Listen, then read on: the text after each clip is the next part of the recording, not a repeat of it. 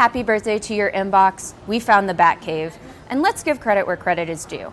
I'm Stephanie Wang, and this is a drop. Email turns 45 years old this year, which has Nigerian princes celebrating while they wait for you to send them $10,000.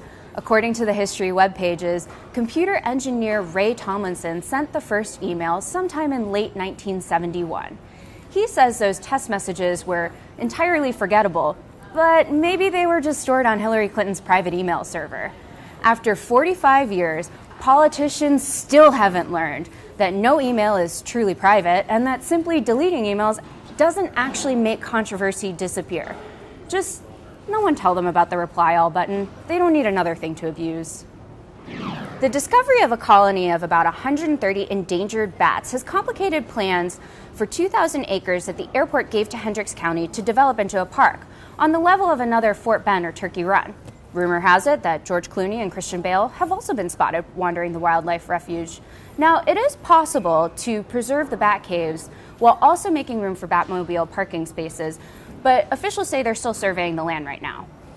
It's the park that Plainfield deserves, but not the one it needs right now.